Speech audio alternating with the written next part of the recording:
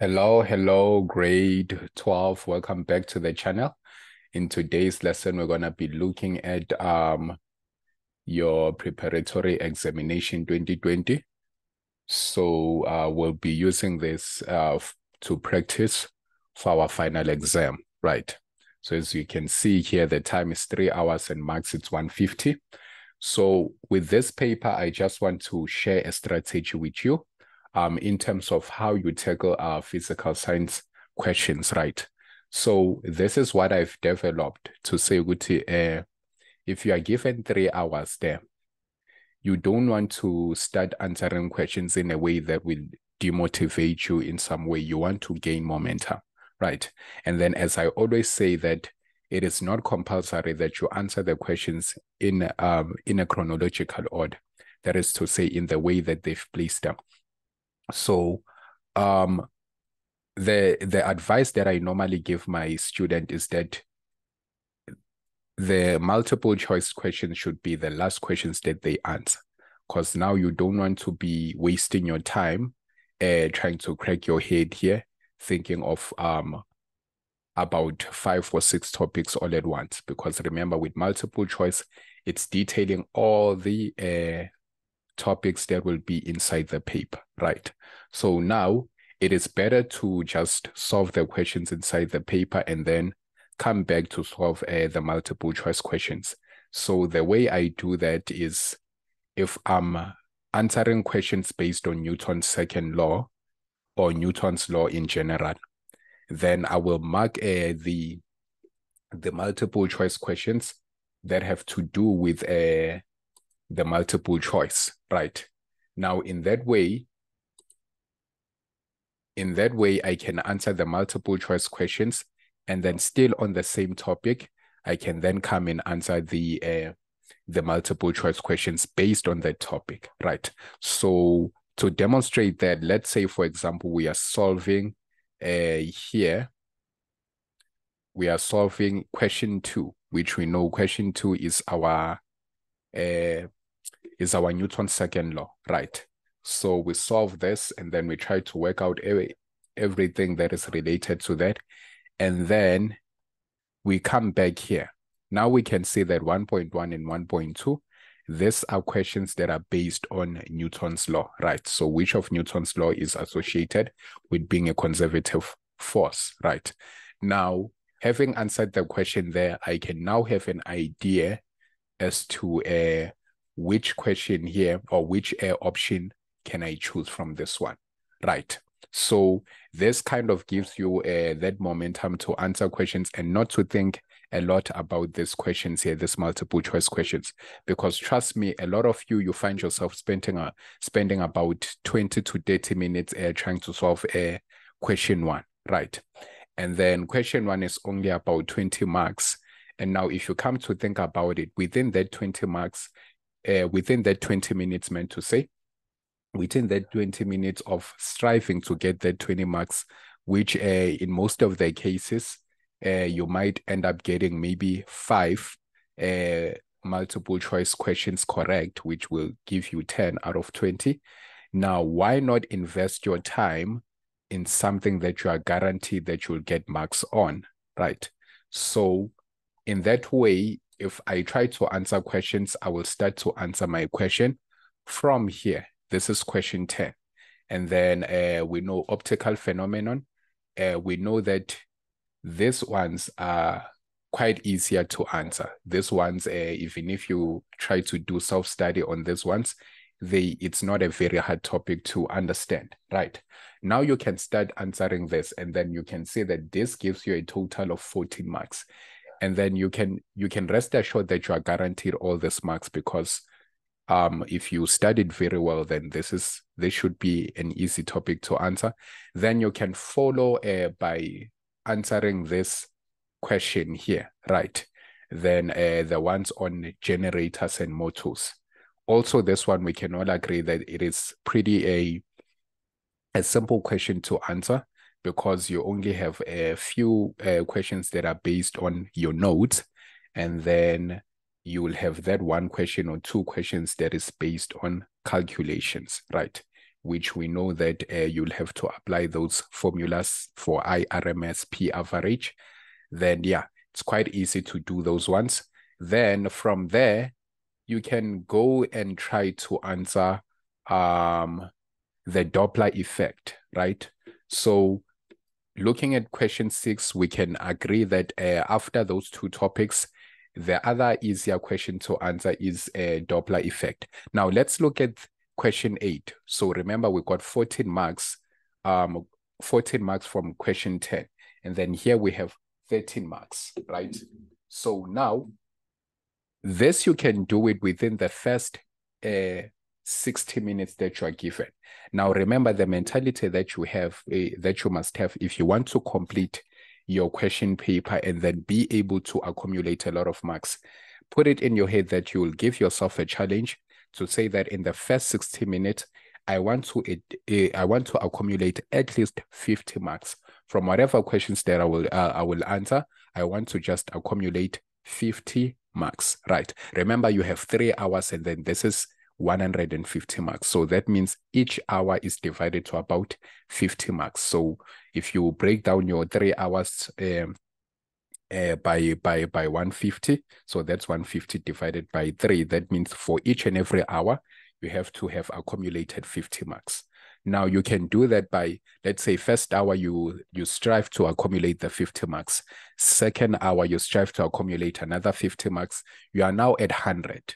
Now in the last hour you can focus on trying to get uh, the the the the other questions that you you, you might understand or the the ones whereby you will just have to write and substitute in the formula so that you get those one mark two marks right? So so to supplement remember we are still speaking in terms of someone who wants to uh, at least achieve a level five which is a, a, a good pass in physical sciences. Now, we know that the mark for that, you should just uh, strive to accumulate about 105 uh, marks in both papers, right? Now, we know that uh, generally it depends on which paper is, more, is much simpler to you. Some say that uh, paper one is simple because they, they they like to calculate rather than to have to study a lot of notes. And some who who, who prefer reading uh, those bunch of notes uh, prefer um, paper two. So it's based on which uh, topic or which paper that you feel comfortable in. So in the paper that you feel comfortable in, you can even strive to get 130 um, and then you can use the other paper to supplement the mark so that uh, after all you get that average between the two papers of 105 to 110 120 and then that's how you'd get your level 5 level 6 level 7 right? So now we have um the 14 marks that we got from here question 10 and then this one is 13 marks. So if we say 14 plus 13 that's 27 right? And then after that, I said go to Doppler effect, right? So with Doppler effect, uh, you are given 15 marks again. So we have plus 15 to that 27. We now have 42, right? Now, from answering this, you can we can agree that um another simple question to answer would be uh, your your momentum, right? So momentum, we always have straightforward questions here. And then let's see, we have a total of 13 marks here. So from that 42, if you add the 13 there, you have 55 marks, right? So um those questions, let's let, let's list those questions that you are going to answer in the first hour. So in the first hour, in the first 60 minutes, we'll just focus on answering these questions. Uh, we'll only we'll only answer questions on Doppler effect. So let me list them in the in the order. So we, we will answer questions on photoelectric effect. So photoelectric effect. And then you'll have to go to uh, electrodynamics. So that's your Gulf B, your um DC AC mode. Electrodynamics. So number one, photoelectric effect. Number two, electrodynamics. And then number three, answer Doppler effect. Then number four, uh, try to answer momentum. right? Momentum. So these are the four questions that you're going to be looking at in the first 60 minutes of your exam, right? Now, if you manage to accumulate the marks in this uh, part, then now you know that you can start uh, putting your attention in the other questions, right? So now with the first hour gone, with the first hour gone, and now you are in the second hour, you can try to answer question two. So in the second 60 minutes, now you want to focus on answering question two, right? Which is your uh, Newton's second law. Now with Newton's second law, maybe the ones that might be challenging are the ones whereby you have six marks, seven marks. But then you cannot just lose all that seven marks. You can always do something because we know that with this topic, um, it's just a matter of having to know how to draw your free body diagram and then simply uh, forming equations out of your free body diagram. Then you can substitute whatever that you are given there. So you can, at least from the seven marks, if you do not get all the seven marks, strive at least to get the three or four marks from this. So now, um, with that, you can then have something like 17, let's say minus 4, right? So let's say from this one, we managed to get 13 marks, right? So we managed to get about 13 marks. Now, um, still in the second hour, you want to answer this question three, right?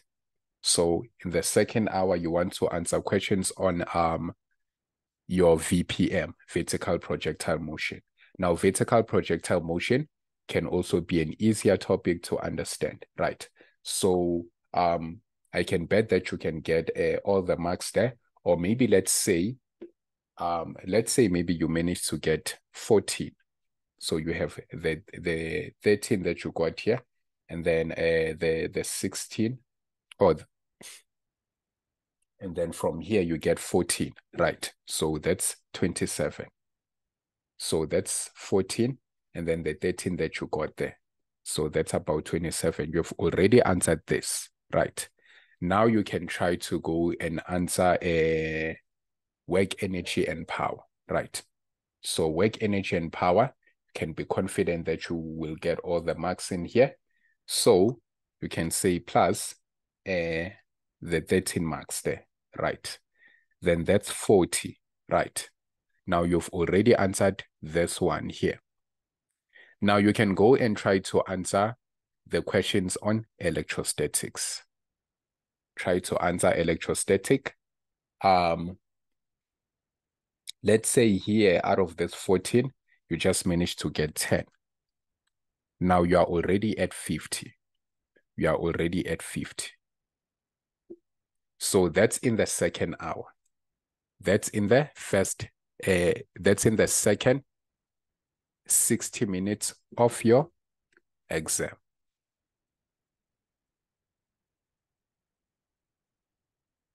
So in the second 60 minutes of your exam,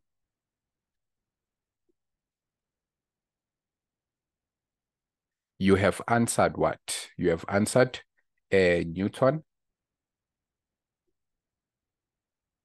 Newton's second law, and then number two, you will answer VPM, vertical projectile motion. Then three, work energy and power. And then four, try to answer a Coulomb's law or electrostatics.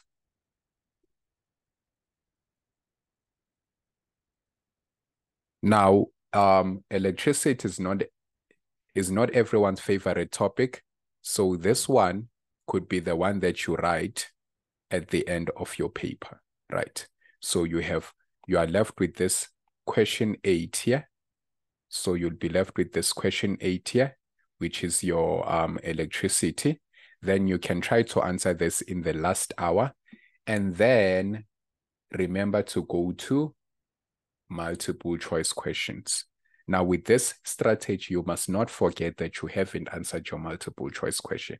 Now you have the 20 marks here. But then now the this one will be easier to answer. Why? Because you've already went through the topics, right? And then answering the topics inside or inside the paper will kind of give you an idea as to how to answer the questions in here, right? Because you have used some of the concept while answering uh, the questions. Now it becomes easier for you to answer multiple choice questions when you have went through the whole paper, right? So now you can try to strive um, from that 20 marks. Let's say maybe you manage to get seven of this correct. So that's about 14 marks. This marks will add on to the 100 that you've already got in the uh, first two hours, right? So now, whatever mark that you got, as long as you secure that in the first and the second hour, you accumulate as much marks as possible right? So that's how you go about uh, answering your question paper strategically. So, right? So, um, I hope that you use this strategy and try to go through your papers like that, and then it will it, will save you a lot of energy. It will save you a lot of time, and then you will have that that, that free time to also go through your questions, recheck your question if you didn't do any mistakes.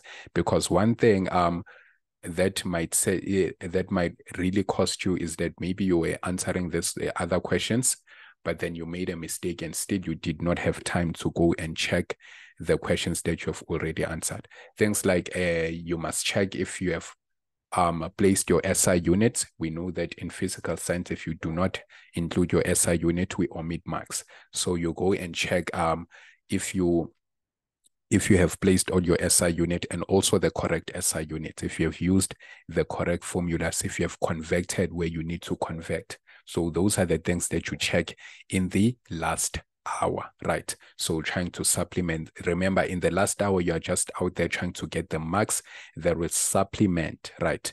Uh, your you, uh, the the marks that you've already aimed for in the in the first two hours right and also trying to get your multiple choice questions so that's how you go about it remember guys it's all about saving time it's all about approaching your exam strategically so that you don't find yourself having to not uh, complete your exam right so with all that being said guys um all the best all the best in writing your exam practice and practice.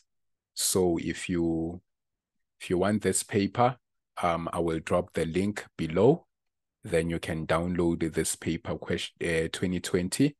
Then it's a very good paper. It's a very good paper. It's a nice one, especially when it comes to work, energy, and power. They have a very nice question here.